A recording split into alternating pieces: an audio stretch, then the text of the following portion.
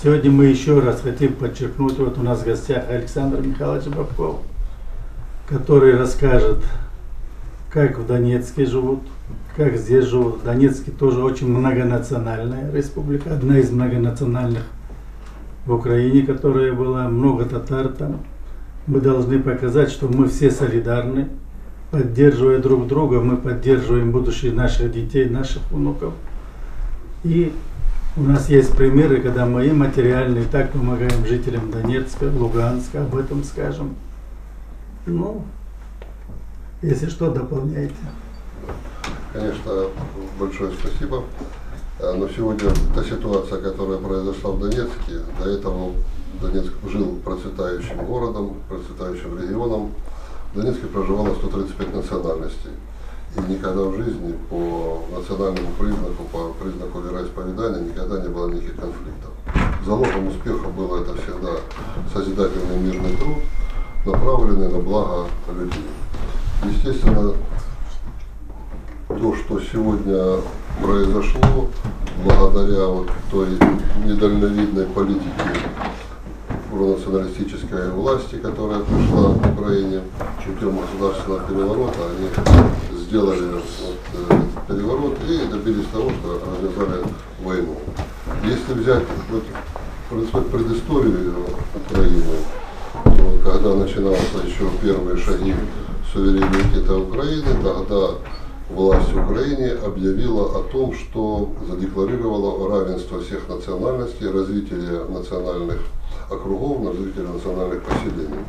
Это была декларация, но затем, как бы э, законами, они это все ликвидировали, закон о административно-территориальном устройстве, закон о языках, закон о, об образовании, убрал все эти предложенные инициативы, предложенные мирное существование и сделали одну титульную нацию, которая запретила всем нациям уже развиваться. И поэтому теперь мы видим, когда э, принимались законы, и вот если взять, допустим, по аналогии Россию, как Россия развивается. В России есть национальные области, национальные округа, каждой народности дано право на со- сосуществование, на национальное развитие, на свою национальную идентичность.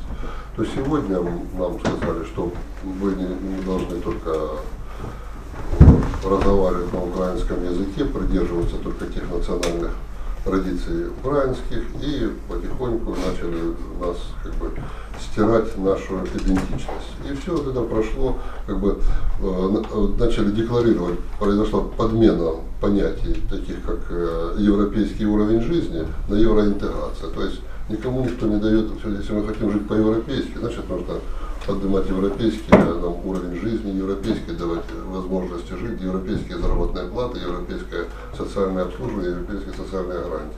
Вместо этого назвали интег- интеграция, но мы видим падение медицины. И сегодня до чего достигла Украина, это второе место по смертности и предпоследнее по рождаемости. Население сокращается, экономика падает, государственный долг растет.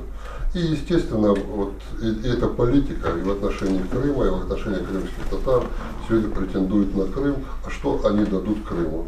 Где, какими законами они до этого доказали, что дают возможность развиваться здесь э, людям по национальному признаку. Когда они принимали, где национальные поселения, где национальные округа, те, которые должны быть, их сегодня нет. Поэтому я считаю, что сегодня вот инициатива организации Крым-Берлиги, которая сегодня предлагает всем народам Крыма объединиться ради созидания, и та сегодня на выборах поддержать единственного гаранта Конституции, который себе доказал сегодня во всем мире как гарант тех принятых э, постановлений ООН и других организаций международных, которые приняты были на международном уровне, что, которые гарантируют равную жизнь всем людям, поддержать Владимира Владимировича Путина на президентских выборах. И также поддерживаю инициативу э, организации Крым-Берлиги, которая сегодня предлагает сделать общественную инициативу «Мой мирный, счастливый Крым».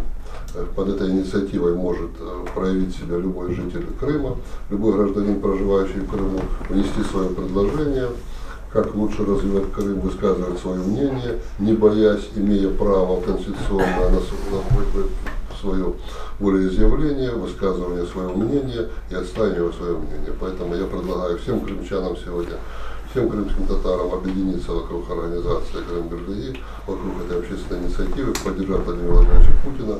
И дальше, как залог будущих успехов, это прежде всего мир в Крыму, и это основа, на основе этой можно привлекать инвестиции, находить партнеров и делать жизнь Крыму счастливым. То есть мы поддерживаем ту, вот то, что сегодня мы видим красной чертой, что проходит от рождения ребенка, обучения, первого рабочего места до самой старости в России и в Крыму будет гарантировано. Поэтому я считаю, что это очень правильная инициатива. Мы должны собираться, общаться и поддерживать такие инициативы. Всех также поздравляю с праздником. Желаю всем успехов. До свидания. Спасибо.